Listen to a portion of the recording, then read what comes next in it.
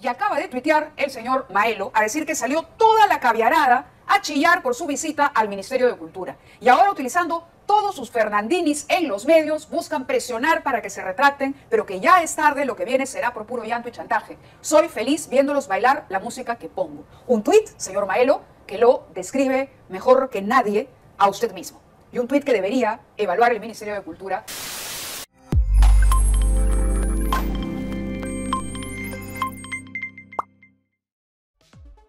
Este lunes 10 de julio, la cuenta oficial de Twitter del Ministerio de Cultura sorprendió al compartir una reunión que tuvieron autoridades como el viceministro de Cultura, Juan Reategui Silva, con el presidente del grupo de extrema derecha La Resistencia, Juan Muñico González, y otros integrantes de esta organización en la publicación del ministerio liderado por Leslie Urteaga explican que dicho encuentro se da en el marco de la política de puertas abiertas.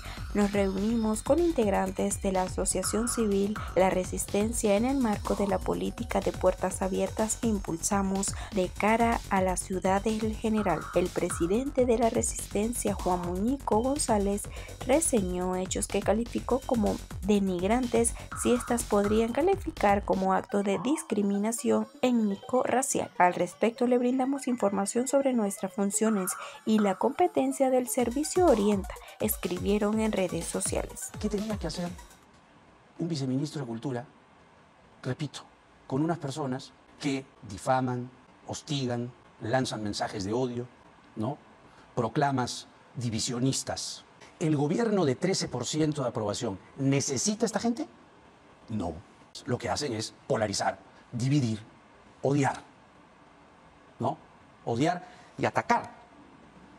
Propiedad privada. Lo han hecho por años.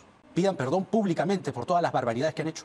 El gobierno se tomó el tiempo de recibirlos, de sentarse, ¿Para qué?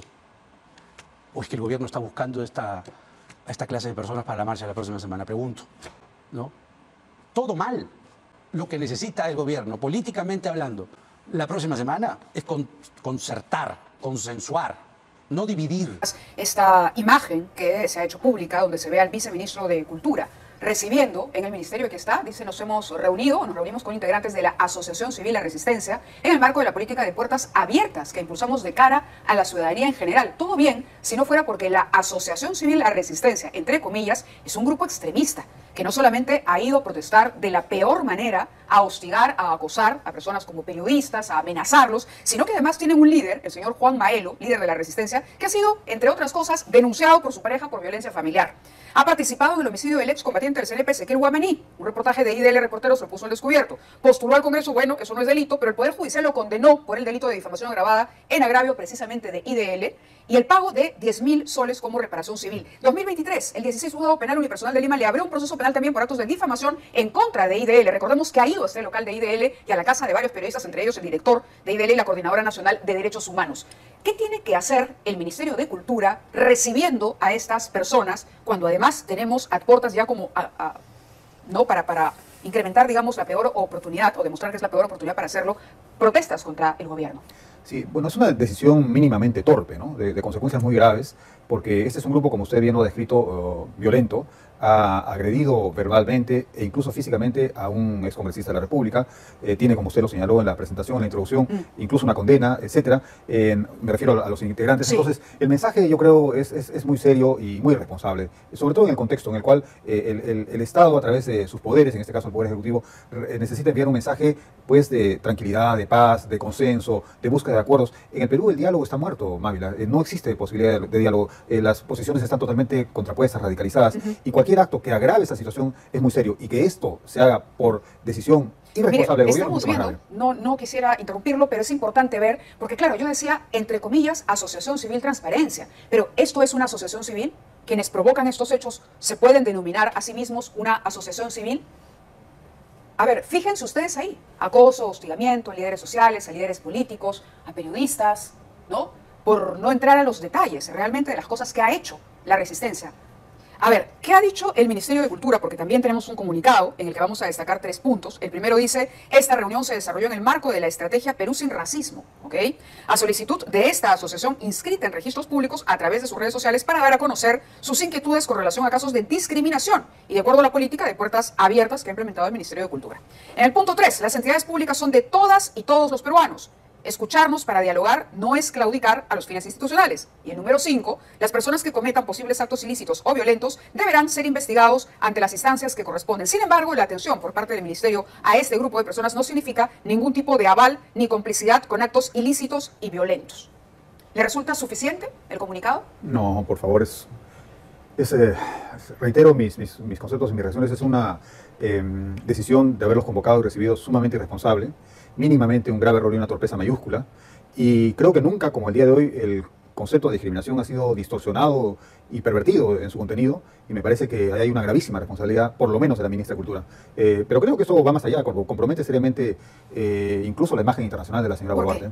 Mire, eh, estos um, actos violentos y prácticas de agresión física y verbal pues no se condicen con eh, el membrete de una asociación, como usted dice. ¿no? Eh, son conductas que eh, ya invaden el ámbito penal. yo podría hablar de una asociación ilícita, podría hablar de hasta incluso de una organización cuasi terrorista, pero además hay una prohibición no solo en el ámbito nacional, de la incitación al odio, a la, violencia, a, atentar con la tranquilidad pública, sino también hay un compromiso internacional. Eh, hay eh, diversas normas internacionales, entre ellas el artículo vigésimo del Pacto Internacional de Derechos Civiles y Políticas que políticos que prohíbe expresamente cualquier acción eh, de odio, de, amenaza contra colectividades, sean estas profesionales o de cualquier otra naturaleza. Fíjese usted, bueno, el Ministerio ha dicho que fue a solicitud a través de sus redes sociales de la Asociación Civil y ahí está el señor Maelo que publica y dice, buenos días a todos. Dice, hoy es un buen día como para que el Ministerio de Cultura se pronuncie en contra de los insultos discriminatorios hacia nosotros por parte de la caviarada y sus adláteres, tal como lo hicieron con el sujeto Procas Arbizo.